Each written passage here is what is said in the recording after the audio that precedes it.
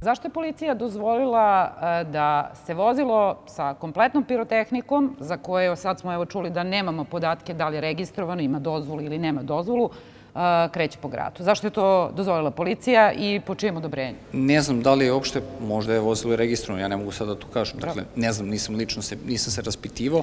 Ne znam, nema ni informaciju da je imalo neku pirotehniku na sebi. Stvarno nema. Vidi se na Pa slikama. Ne, Pa, možda, ne kažem da nije. Ja samo kažem, nisam se bavio tim. Zaista mi to nije bilo previše važno. Vidim da se od toga sad pravi fama, pre svega iz nekog razloga ti navijači Crvene zvezde smetaju nekim ljudima.